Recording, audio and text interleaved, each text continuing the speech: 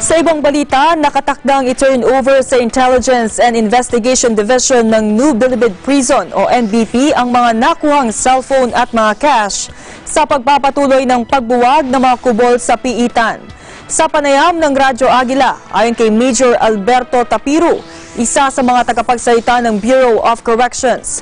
Mahigit sa sampung cellphones ang nakuha nila sa unang quadrant pa lamang ng mga kubol sa maximum compound. Aabutin pa niya ng dalawang linggo ang pagbuwag sa mga kubol sa loob ng pambansang piitan. Bukod sa mga cellphone, cash at kontrabando, mayroon din silang nakuhang mga bladed weapons, mga pocket wifi at pangkaraniwang mga tools.